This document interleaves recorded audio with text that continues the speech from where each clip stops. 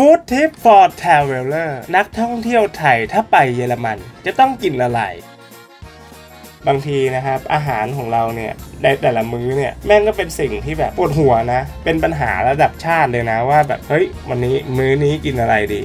เฮ้ยคืออาหารตามสั่งก็นึกไม่ออกและยิ่งไปต่างประเทศด้วย คุณก็คงจะนึกไม่ออกหรอกว่าคุณอยากจะแดกอะไรนะครับ ไปเยอรมันต้องลองกินอะไร แน่นอนแหละ เมนูแรกเลยนะ คงจะต้องเป็นไส้กรอก ถ้าพูดว่าไส้กรอกเยอรมันน่ะทุกคนก็ต้องร้องอ๋อไปถึงเยอรมันก็ต้องลองแดกไส้กรอกต้นตำรับ อย่างแรกเลยนะ ที่ผมว่าจะแนะนำอะก็คืออันนี้เลยทูริงเจียน คือทูริงเจียนเนี่ยมันมีประวัติมาตั้งแต่ปี 1613 เลยนะ ซึ่งก็คือ 410 ปีมาแล้วอะทูริงเจียนทั่วไปเขาจะใช้เนื้อหมูนะครับ เนื้อวัว เนื้อลูกวัว สับละเอียดนะครับ ผสมกับเกลือพริกไทยตามปกติของไส้กรอกนั่นแหละ แต่ก็ไม่รู้ว่าเป็นอะไรนะ ประเทศเยอรมันเขาทำไส้กรอกอร่อยกว่าที่อื่นหรือไงก็ไม่รู้ และเครื่องเทศเขาก็จะมียี่รามาจอแรมแล้วก็กระเทียมนะครับ มาจอแรม หน้าตาเป็นยังไง อืมันทำให้กลิ่นหอมนวลดีแล้วก็รสชาติมีเอกลักษณ์ อันที่ 2 เลย สองเลย Weißwurst Weißwurst อ่านออกเสียงไง Weißwurst ไส้กรอกแบบดั้งเดิม ซึ่งถ้าไปเยอรมันก็ควรจะต้องลองนะ ต้นฉบับก็คือไส้กรอกสีขาวนั่นเองนะครับ มันเป็นไส้กรอกดั้งเดิมนะครับ จาก Bayern ทำจากเนื้อลูกวัวสับละเอียด ผสมเนื้อสันนอกหมู แต่งกลิ่นด้วยพาสลีย์เลมอน หัวหอม ขิง ดอกจันเทศ กระวานไวท์เฟิร์ดเนี่ยจะนิยมทานในช่วงเช้านะ เพราะว่าส่วนใหญ่เขาจะทำสดๆเว้ยเพราะว่ามันเก็บได้ไม่นานตอนจะกินก็แค่เอามาต้มสัก 10 นาทีนะครับ แล้วก็เอามากินได้เลยนะฮะ ดูเผินๆนี่นึกว่าหมูยออุบลแล้วนะ ชนิดที่ 3 นะครับ Nürnberger Rostbratwurst หรือไส้กรอกย่างนูเรมเบิร์ก สูตรนี้เก่าแก่มากเลยนะครับ ตามแหล่งข้อมูลทางประวัติศาสตร์เนี่ย มีอายุย้อนไปถึงปี 1,300 กันเลยทีเดียวคิดดูเอาละกัน ไส้กรอกนูเรมเบิร์กเนี่ย ผลิตจากเนื้อหมูที่ไม่มีเอ็นนะ ก็คือเนื้อแดงล้วนๆ ปรุงรสด้วยมาจาแรมแล้วก็แต่งกลิ่นอื่นๆนะครับตามสะดวกของแต่ละร้านอะได้แก่พริกไทยเซอร์วิล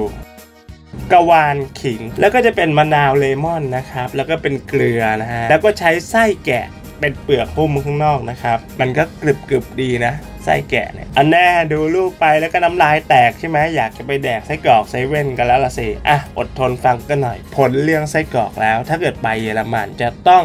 แดกอะไรกันอีกไปดูกัน Schnitzel ไอ Schnitzel เนี่ยจริง ๆ แล้วนะครับ มีต้นกำเนิดมาจากออสเตรียนะครับ คือเนื้อทุบแล้วทอดนั่นเอง สามารถใช้เนื้อลูกวัว เนื้อแกะ หรือเนื้อไก่งวง แล้วก็เนื้อกวางเรนเดียร์ด้วยนะ ถ้าเกิดเป็นกวางเรนเดียร์จมูกสีน้ำเงินเนี่ยน่าจะทำไม่ได้นะ มีตัวเดียวนี่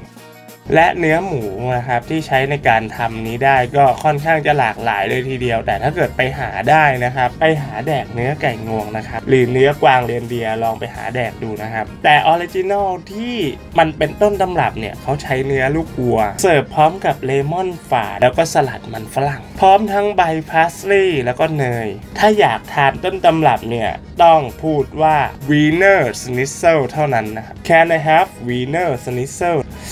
โอ้ดูดิน่ากินคิดเป่งเลยอะต่อไปนะครับต่อไป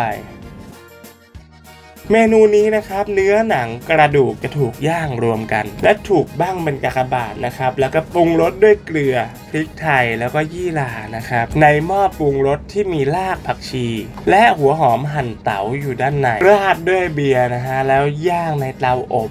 ประมาณ 2-3 ชั่วโมง เนื้อจะร่อนออกมานะครับ หนังจะกรอบเนื้อจะนุ่มอยู่นะฮะเสิร์ฟพร้อมมันบดนะครับ ถั่วกระหล่ำปีดองแล้วก็น้ำเกรวี่เมนูต่อไปนะครับ แนะนำนี่เลยFrikadelle ก็คือลูกชิ้นนี่แหละ หมูปั้นก้อนนี่แหละ หมูเป็นเป็นเนื้อปั้นก้อนนี่แหละ ซึ่งก็คือเรียกอีกทีก็คือ meatball นะครับเวอร์ชันเยอรมัน วัตถุดิบหลักนะครับก็มีเนื้อบดนะครับขนมปังหรือเกล็ดขนมปังไข่หัวหอมใหญ่นะครับใส่เครื่องปรุงรสอันนี้ก็จะแตกต่างในแต่ละร้านแต่ละสูตรนะครับแต่ละครอบครัวจะต่างๆไปนะครับตามภูมิภาคว่าคุณไปเยอรมันแถบไหนเขาปรุงรสด้วยอะไรนะครับรวมๆแล้วแม่งก็คือหมูบดเนื้อบดปั้นก้อนทอดของบ้านเรานี่แหละนะฮะหรือต่อไปถ้าเกิดเราไปซื้อหมูบดปั้นก้อนทอดนะครับแล้วก็เรียกว่าไปสั่งป้าเลยป้าครับ เดี๋ยวผมเอ่อขอฟิกาเดเล่เนี่ยฮะสี่ชิ้น อะ ก็ประมาณนี้แล้วกันนะครับ ถ้าใครไปถึงเยอรมันแล้วอยากจะลิ้มลองอาหารที่แบบเป็นเยอรมันเยอรมันนะครับ ก็อย่าลืมตามไปตามกันนะ แล้วก็ฝากกดติดตามมาให้ด้วยนะครับ ถ้าเกิดใครเข้ามาดูคลิปนี้แล้วชอบเผื่อเป็นลายแทงนะว่าแบบเอ้ย วันนี้เราไปเยอรมันนะ เราจะต้องไปแดกอะไรบ้างเงี้ย สำหรับ Contest Studio นะครับซีซั่นใหม่ฝากติดตามกันด้วยนะครับ บ๊ายบาย